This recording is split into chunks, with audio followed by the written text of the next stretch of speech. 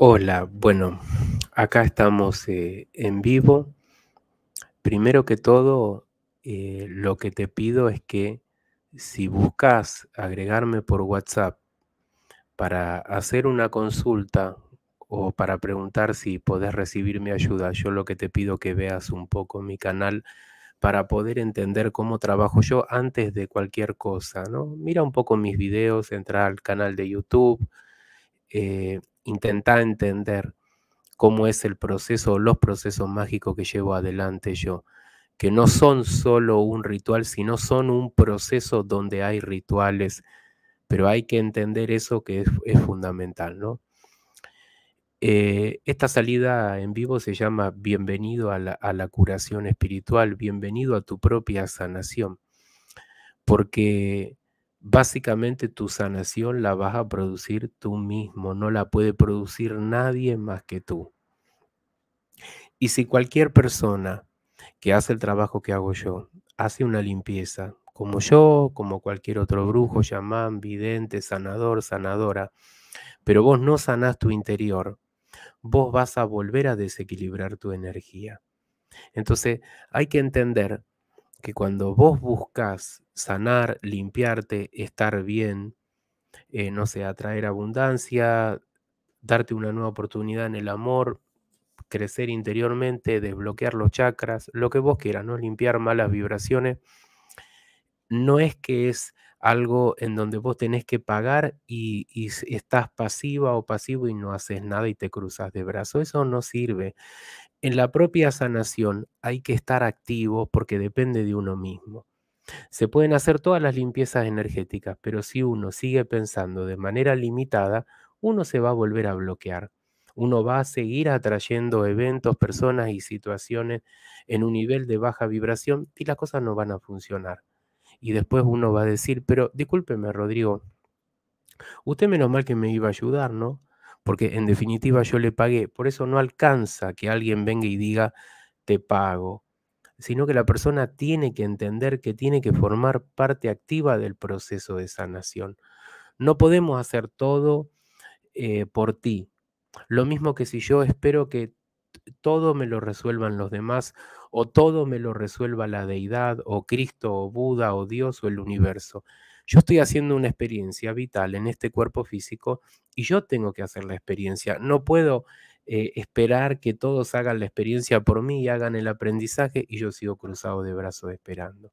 Por eso la sanación requiere que entiendas que es un proceso activo, la magia requiere que entiendas que vos tenés que estar activo, sino que abundancia vos querés atraer si vos no estás trabajando la abundancia eh, interna. Bueno, voy a, voy a comenzar eh, em, hablar de esto, ¿no? Y a tocar cinco o seis puntos que creo que son muy sencillos, ¿no? Eh, hoy comienzo mi viaje de curación, pero para eso tengo que tener la conciencia, o sea, estar despierto y renunciar a las cosas que me hacen mal, a las personas que me hacen daño, a mis programaciones tóxicas y negativas, porque solemos creer que son otros los que nos provocan los males y, generalmente somos nosotros mismos con nuestras decisiones, que, que, nos terminamos provocando infinidad de problemas, generando karmas muy negativos. Y por supuesto que claro que en la vida podemos dar con gente muy tóxica. Bueno, ¿estamos dispuestos a renunciar a esa gente tóxica? Aunque hoy podemos decir que amamos todavía a esa persona, ¿Estamos dispuestos a renunciar a nuestros aspectos tóxicos? Esto, esto en el caso de que estemos hablando de un viaje de curación interior, de un viaje de curación espiritual. Si vos decís, mire, no estoy dispuesto a renunciar porque amo a la persona, la persona me ama, estamos en una crisis, pero nos amamos. Y eso puede ser cierto y yo no te digo que renuncies ahí a esa relación, sino a los aspectos tóxicos tuyos, a tus limitaciones, transformate, transmuta. Transmuta. Transmuta significa transformar lo negativo en vos en positivo. Esas maneras a veces tóxicas de ser que provocan sufrimiento a la persona que justo amamos y a nosotros mismos, bueno, tenemos que estar dispuestos a renunciar a eso. Y para eso tenemos que estar conscientes. Eh, la ayuda a veces viene del lugar menos esperado, pero si vos entras en sintonía con curar, con sanarte, con estas cosas que explico yo, la ayuda va a aparecer, las puertas se van a abrir por algún lado. No importa que, digamos, eh, la persona que te ayude, si soy yo o si es otra persona, si vos sintonizás la, la frecuencia correcta de vibración, vas a dar con la persona. Y si no das con la persona, vos mismo vas a poder hacer ese proceso. Pero hay que entender que hay que estar activo, hay que estar activo, hay que estar dispuesto a renunciar a lo tóxico de uno mismo y, trabajar en un proceso de, digamos, de mejora, de sanación. Hoy hablando con una mujer de, Estados Unidos, ella me, o sea, digo del lugar que es, pero en realidad no quiero decir el nombre por una cuestión de, respeto, ¿no? Rodrigo, eh, estuviste, Erika, me equivoqué, estuve tóxica, eh, engañé a mi marido, eh, no sé, manipulé a mi amante, la verdad que me siento una tonta. Bueno, y, entonces, ¿qué onda? Y entonces siento que cambié. Y bueno, eh, una cosa es darse cuenta que uno ha hecho el tonto, ¿no? A todos nos ha pasado, todos hemos, todos hemos hecho tontería en algún momento de la vida y probablemente las repitamos, ¿no? Porque falte, es parte de un aprendizaje, pero eh, no basta con solo ver las tonterías y decir estoy dispuesto a renunciar a las tonterías que hice, a las manipulaciones, a las mentiras y, y al autoengaño, sino empezar a trabajar para fortalecer la conciencia, estar más despierto. Si no, solicitamos mi ayuda o solicitar la ayuda de otra persona que trabaja en el mismo tipo de vibración, la magia, como lo trabajo yo, y le decís, quiero que usted me haga todos los rituales, yo ya me di cuenta de todos mis errores. Y no es verdad. No cambiaste. Te diste cuenta de los errores. Está bien, querés no repetirlos más, pero esos son programaciones. Uno tiene la tendencia inconscientemente a hacer las mismas cosas y sentirse de la misma manera y de pronto empezar a funcionar como una persona tóxica y uno no lo entiende y uno no entiende por qué. Entonces quiero que usted me haga los rituales, pero los rituales no van a tener ningún poder si vos no te empezás a hacer cargo de que tenés que hacer un proceso para sanar. Si no, no cambiaste. Si no, vos crees que cambiaste. Eh, si usted cambió o no cambió, la respuesta la tiene usted. Si esa persona que usted ama vuelve a su vida y usted vuelve de manera automática a ese mismo patrón de conducta tóxica, como en este caso, ¿eh? yo estoy seguro que va a pasar eso, va a volver el ex y ella va a volver a hacer lo mismo y a los dos meses va a tener problemas. ¿Y cómo tengo estos problemas si yo cambié? Porque no cambiaste, porque diste el primer paso, te diste cuenta de las cosas tuyas que querés sacarte encima, pero te faltó hacer un proceso para sanar que sea sostenido a lo largo del tiempo, porque los cambios no se precipitan en 24 horas, los cambios vienen en, en, uno mismo cuando uno lo trabaja semanas o meses, ahí vienen los cambios, ahí uno cambia. Si no, uno repite siempre los mismos patrones de conducta y uno no entiende por qué es tóxico, por qué manipula, por qué miente, por qué va acomodando la realidad, eh, por qué se va auto boicoteando, porque son todos patrones de conducta que, son inconscientes, que son automáticos y uno cuando se da cuenta cree que ya cambió, pero no, al tiempo volvés a lo mismo. Entonces, eh, esto no es que solo tiene que ser, digamos, trabajado con la magia, con la limpieza espiritual, sino que es muy importante el trabajo mental emocional de acompañamiento del brujo, de, reprogramación de la mente. Y bueno, yo explico un montón de técnicas, afirmaciones, decretos, visualizaciones, tambor chamánico, meditaciones, acompañamiento, otros ejercicios más de tipo emocional.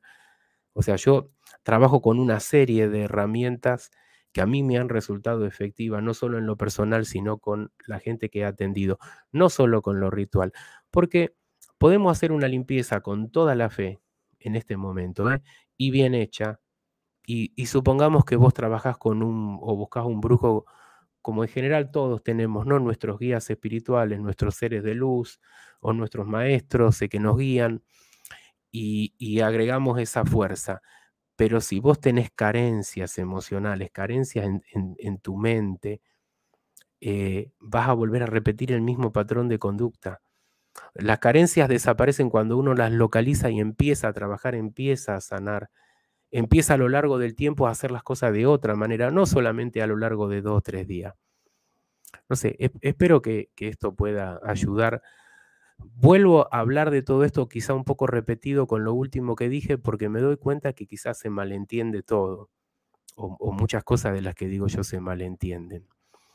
Eh, equivocarte en un proceso mágico en la vida es parte justamente de un proceso de aprendizaje. A una de las cosas que hay que renunciar es a eh, culparnos todo el tiempo por errores cometidos y culpar a los demás por errores que cometieron, porque todo lo que aconteció fue parte de un proceso de vida, de un proceso de aprendizaje. El que cruzó por tu vida y te hizo daño, no cruzó porque sí. No hay casualidad en el universo. Entonces cruzó, me hizo daño porque es mi culpa, dice Rodrigo. Yo no digo eso, yo digo que todo es un entramado, que todo está unido que todo está motivado por causas y efectos, que nosotros atraemos la realidad y, todo lo que ha acontecido aconteció por un aprendizaje. Y cuanto más amorosa sea tu mirada respecto a una persona que te hizo daño, más vas a evolucionar, más vas a avanzar, más va a vibrar alto. Pero uno no puede pretender una sanación sin uno mismo equivocarse como persona. Eh, no se puede sanar si vos te estás juzgando por el pasado todo el tiempo y va a costar sanar si vos estás juzgando, culpando a los demás y deseándole todas las pestes del infierno. Es incompatible todo eso con la sanación. O sea, sanar implica darse cuenta de estas cosas, ¿no? Eh, cuando hay personas heridas y buscan la ayuda de los que hacemos este trabajo, unas cuantas personas, y yo creo que yo creo que a todos nos ha pasado alguna vez, ¿no? Buscamos la respuesta a una herida emocional en el castigo. Quiero un ritual para devolverle el daño, para castigar a la persona, para justicia divina. Video que subo donde hablo de justicia divina en TikTok se llena de gente y se llena de comentarios. Y eso es porque la gente está buscando algún tipo de castigo o de justicia divina, como le dicen que no existe tal justicia divina. Dios es amor, Dios no es castigo. Si fuera castigo no quedaría uno, uno en pie en esta vida, en este plano pues todos nos hemos equivocado miles de veces, no una ni dos miles. Dios es amor. Pero bueno, la gente entiende que Dios es justicia divina, Dios va a castigar. Eh, entonces, estas personas van por el lado del castigo, de la justicia divina, de la venganza, en definitiva, de retribuir el daño que alguien me hizo, lo quiero retribuir, quiero que esa persona lo pague el doble, lo va a pagar siete veces siete, como me lo dijo un tarotista me dijo una persona hace unos meses y me quedó grabado. Siete veces siete va a pagar, o siete veces setenta y siete, dice la Biblia, no me acuerdo. La respuesta es el amor y los trabajos de amor, no los trabajos de venganza, ni los trabajos del ego, ni los trabajos supuestamente de justicia divina, ni de devolverle el mal. La respuesta para las heridas es el amor, no el castigo de la otra persona. Eh, yo sé que en este punto muchos no están de acuerdo, ¿no? Y yo suelo encontrarme con gente me dice, que me dice, no, es que usted no entiende porque no le pasó. ¿Qué cosa no me pasó? No es que a usted no lo engañaron y no agarró al otro o a la otra en la cama como yo con el amante. Sí, a mí me pasó. Y pero es que a usted no se burlaron de usted en las redes sociales. Sí, se burlaron de mí. ¿Y a usted no le pasó esto? Sí, me pasó, porque difícilmente alguna de las cosas que me diga la gente, que me dice la gente, no me pasó a mí justamente. Porque usted qué creen que los que hacemos este trabajo son las personas que llegamos iluminadas y que nunca nos pasó nada en la vida. Miren, los que hacemos este trabajo lo digo con toda humildad, aunque puede que no parezca así, pero es así, es bien, es porque hemos pasado por el infierno, es porque conocemos lo que siente la gente y porque podemos describirlo también, más que por evidencia, por haber caminado por los mismos lugares que la gente que está desesperada, que vibra abajo, que está extremadamente angustiada, que busca venganza, que no entiende que la respuesta es el amor o sanar, lo que pasa es que yo ya he pasado por eso y he hecho mi propio proceso de aprendizaje. Por eso no hablo en mis videos de venganza, ni de justicia divina, ni de rituales para castigar. Y, justamente muchos brujos sí lo hacen porque están en ese nivel de conciencia, porque no conciben el perdón ni, el amor como respuesta a, a, un daño que alguien te ha hecho. No, el amor primero hacia uno mismo. Porque si alguien te hace un daño y vos esa herida querés sanarla castigando a la otra persona, no vas a sanar esa herida, te vas a obsesionar más, te vas a generar mal karma y mil cosas más que yo comento todos los días, ¿no? Entonces la respuesta es amor, vos te tenés que dar amor a vos mismo, a vos misma, no castigar a esa persona.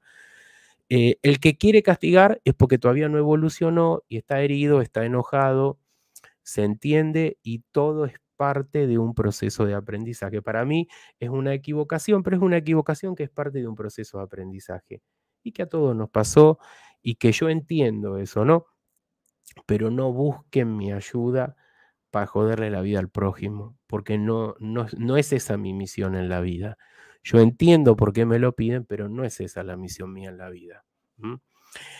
Eh, es muy importante en estos procesos hacer afirmaciones para reprogramar la mente, porque yo esto lo digo, creo que todos los días lo digo por lo menos un momento, para que la gente que de pronto ve mi canal por primera vez lo piense, ¿no? Tantas cosas negativas nos decimos, tantas, tantas historias mentales, tantos rollos construimos de manera negativa, eh, oscura, de baja vibración, especialmente cuando andamos mal en la vida, que hay que empezar a decirnos cosas positivas, afirmaciones, decretos, sentir esas afirmaciones y decretos, em, empezar a jugar con repetir o trabajar algunas afirmaciones. Hoy trabajo con estas, mañana con esta otra y pasado con esta otra. Y una afirmación es el pasado terminó, no tiene ningún poder sobre mí. El pasado no tiene poder sobre mí. O cualquier afirmación que tenga que ver con que el pasado se diluye, no tiene poder sobre ti. Porque eso no es que es solo una afirmación, sino que tenés que hacerte consciente que es una realidad. El pasado va a tener poder sobre vos, peor que todas las magias negras juntas, si vos le abrís la puerta, si vos le das tu energía. Si vos, si vos todo el tiempo no podés salir, entonces eh, empezás a pensar lo que te pasó y quedás atrapado y perdés el día, la semana, el mes, los meses, los años de la vida. ¿Cuánta gente perdiendo años de su vida? Pensando en el pasado y el pasado tiene poder sobre la persona. ¿Y quién le da el poder? Uno mismo.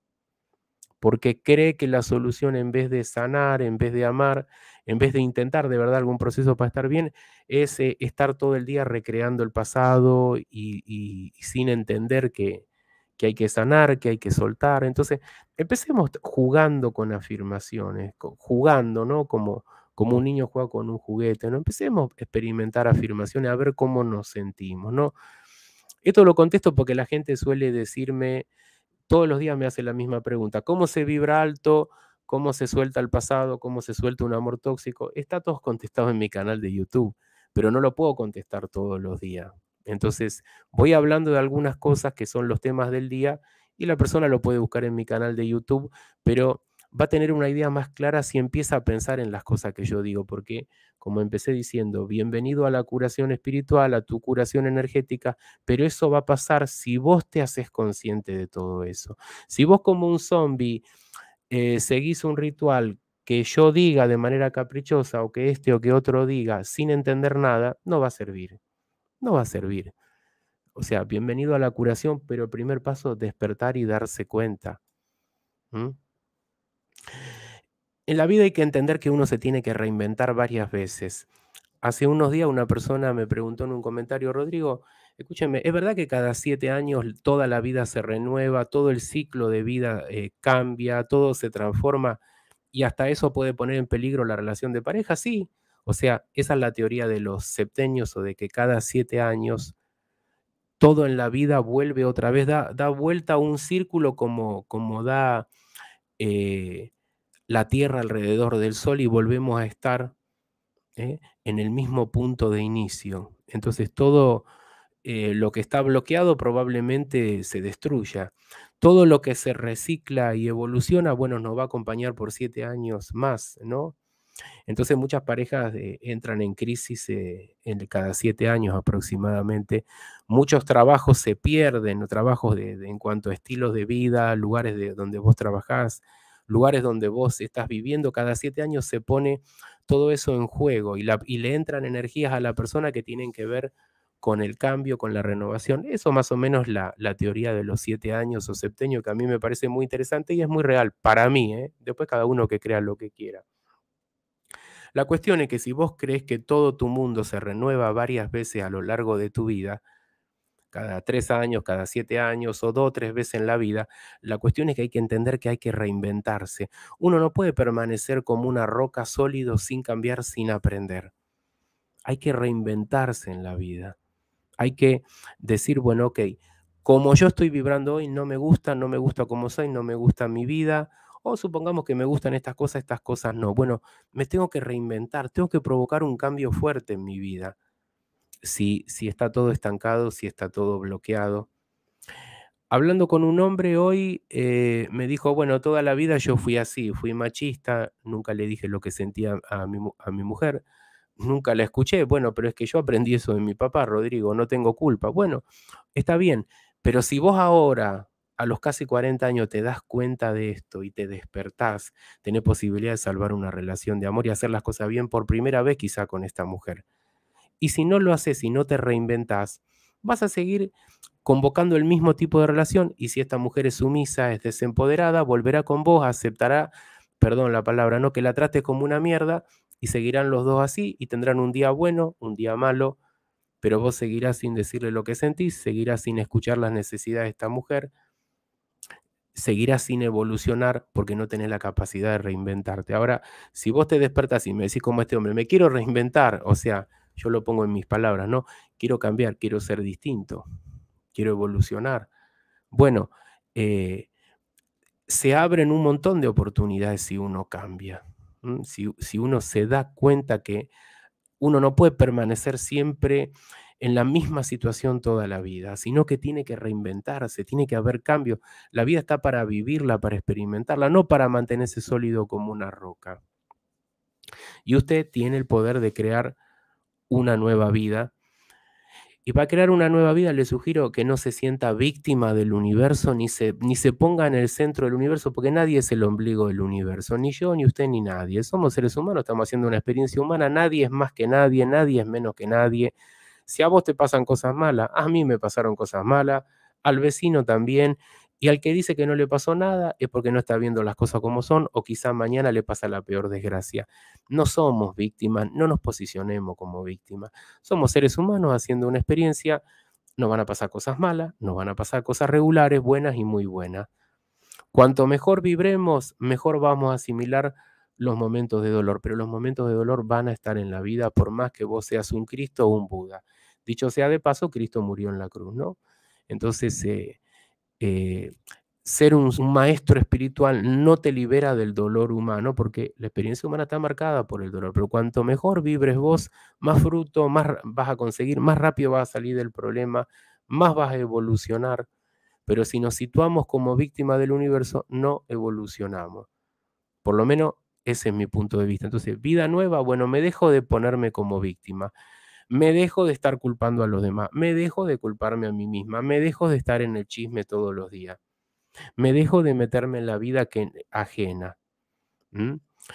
Eh, y tu célula, el universo, porque la gente, eh, estamos todos muy pendientes de la ley de atracción, entonces todo lo que vos pensás y sentís, el universo lo escucha, pero también todas las células de tu cuerpo lo escuchan. Entonces, perdón que yo hablo de una manera un poquito directa, ¿no? Pero si tu pensamiento es una mierda, van a escuchar tu célula ese nivel de vibración y, no van a andar bien o se van a sentir para la mierda. Y lo mismo el universo. Entonces, si vos cambias un poco la sintonía, tu cuerpo te va a escuchar, tu energía te va a escuchar, el universo te va a escuchar y las cosas van a andar mejor van a andar mejor y con pequeñas cosas todos los días. Pequeños ejercicios, pequeñas cosas que se hacen todos los días provocan grandes cambios.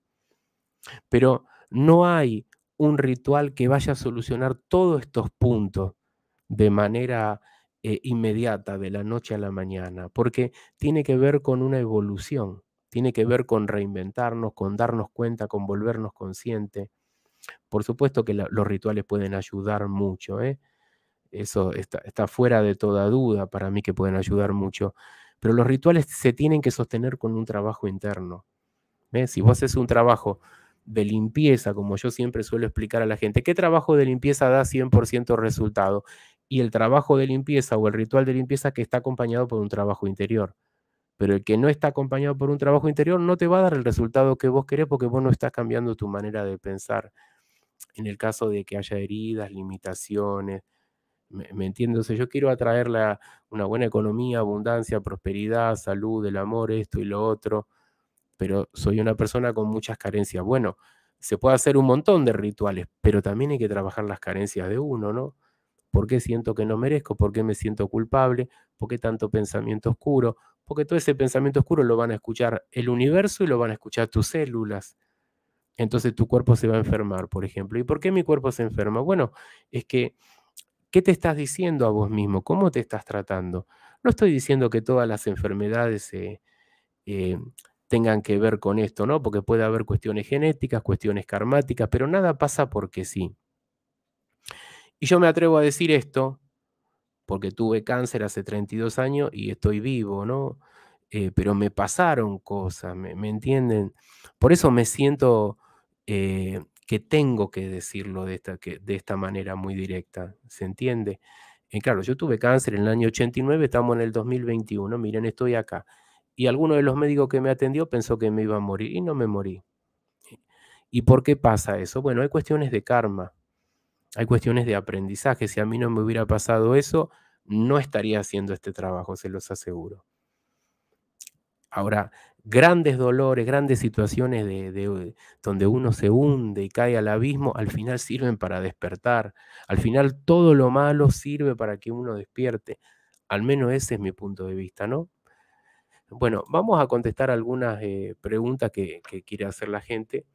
Eh, esperemos que, tengan algo que ver con este tema, porque eso es un problema a veces, ¿no? Desde que veo tus videos, entiendo muchas cosas. Eh, y si es cierto, Dios es amor. Es que Dios es amor, por lo menos cada uno lo puede ver como quiera, ¿no? El que tiene la visión esa especialmente cristiana, que Dios es un Dios de justicia y de castigo y que va a castigar a los malos, bueno, puede tener esa visión. Eh, pero yo tengo la visión de que Dios para mí es amor, eh, es amor. Y de hecho la vida es un regalo, es un regalo. Eh, experimentar esta vida con todos sus dolores, con todos sus buenos momentos, sus malos momentos, vale la pena vivir y es un regalo y es una, una posibilidad de aprendizaje, de experiencia. Y yo entiendo que a veces nos hundimos en el dolor y no queremos la vida, pero eso lo decimos desde el ego, desde el desconocimiento.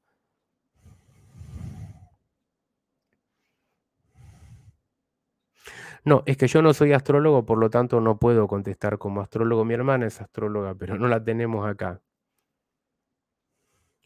Yo no estoy de acuerdo. ¿Cómo le voy a desear el bien cuando me ha hecho llorar tanto? Bueno, es que podés estar en desacuerdo. Lo que pasa es que todavía no te pasaron 20 años, 20 años de trabajo interno, de evolución. Entonces, cuando vos haces un trabajo en vos misma, ¿no? Y, y sanás y estás en paz y vibras bien, ya en ese momento te das cuenta que no querés que tu ex, que te jodió la vida, sufra, la pase mal, no, que tenga una buena vida, que no pueda herir a nadie más, que realmente salga del sufrimiento, sea una mejor persona. Pero claro, inmediatamente no pasa eso. Tampoco a mí me pasó, entonces yo te entiendo. A mí tampoco me pasó en su momento, ¿no? Sino que sentí lo mismo que vos. ¿Cómo yo puedo perdonar a la persona que me hizo sufrir? Es que primero uno perdona por uno para liberarse. Vos te querés liberar de la persona, tenés que perdonar. Vos no perdonás, no te liberás. Todavía hay una conexión energética con la persona. Todavía inconscientemente, aunque vos digas, no, Rodrigo está equivocado. Mira, yo hace más de 25 años que hago esto inconscientemente vos esperás que la persona sea castigada, porque no perdonas, porque no soltás, no te liberas vos. Pero esas son cosas que uno va descubriendo. Si, si vos no lo sentís así hoy y decís, no, no, no voy a perdonar un carajo, Rodrigo, bueno, no perdones, la misma vida te va a llevar ahí y está todo bien. Y no hay problema. Y yo en su momento también sentí lo mismo que vos. Así que, así que te entiendo. No, no hay problema.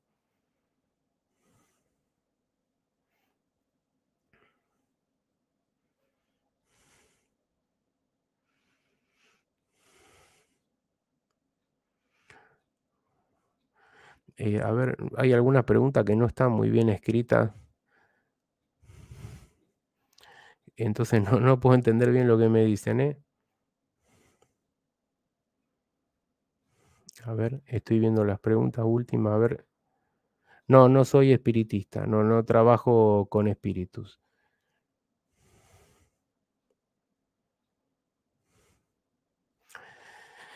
Eh, bueno, eh, espero que te sirva, Carolina, eh, este video. Eh, miren, todos dentro de, la experiencia humana vamos a atravesar por situaciones que son comunes a todos los seres humanos. Son cosas que te van a pasar a vos, a mí a todos los seres humanos. Y algunas de, esas situaciones que se dan en todas las personas. si usted encuentra a alguien que no le haya pasado todo esto, bueno, es porque quizás es una persona muy evolucionada, espiritualmente. Quizá todavía no le pasó nada porque es una persona muy joven. Quizás una persona que le pasó todo esto y es poco consciente o miente o no es, eh, no es realista o no es muy consciente, entonces acomoda las cosas de tal manera de hacer creer que siempre le fue fantástico en la vida. Pero la verdad es que la desilusión amorosa, la traición, las heridas emocionales, los traumas, todos los seres humanos pasamos por ahí. Todos los seres humanos pasamos generalmente por heridas de rechazo, ¿eh? por heridas de humillación. Todos los seres humanos experimentamos mucho rollo mental, como una vocecita oscura que nos dice cosas negativas, especialmente en los tiempos que andamos mal en la vida. Porque en los tiempos que andamos mal, generalmente se activa ese demonio que tenemos sobre un hombro y que nos dice todo lo negativo. Hace muchos años yo atendí a un muchacho que estaba en un momento malísimo, malísimo, malísimo y además eh, em, con malas energías, ¿eh? con, una cuestión de brujería. Entonces esta persona iba manejando por un lugar de Estados Unidos y, me decía, hablando, ¿sabes lo que siento, Rodrigo? Que la voz interna me dice que me tire con el camión y todo por la ruta hacia el precipicio y que así se termina todo el dolor. E, esa voz interna no me deja. Esta persona manejó una zona de montaña más o menos 10, 12 horas y, y, casi todas esas horas atormentado por esa voz interior. Eh, y esas voces oscuras, que no necesariamente son brujería o entidades, son voces oscuras de uno mismo. son lugares comunes por donde hemos atravesado todo, a veces con mucha intensidad, como este chico que, que la voz le decía, tirate, tirate con el camión, se termina el dolor, se terminó todo, basta, tirate, la vida no vale la pena y cosas así muy oscuras. Y esta persona aguantó aguantó, sufrió, hizo su proceso varios años después, es feliz, tiene un hijo, tiene vida y le va bien en todo aspecto. Pero para llegar ahí hay que aguantar. Hay que aguantar.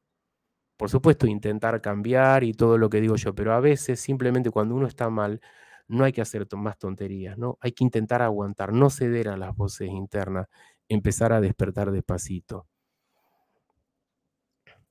Bueno, esta no es una salida muy larga, ya hice una salida hoy em, durante el día. Eh, bueno, hasta acá llegamos, mañana vuelvo a salir en vivo. Espero que haya tenido alguna utilidad esto. Buenas noches a todos.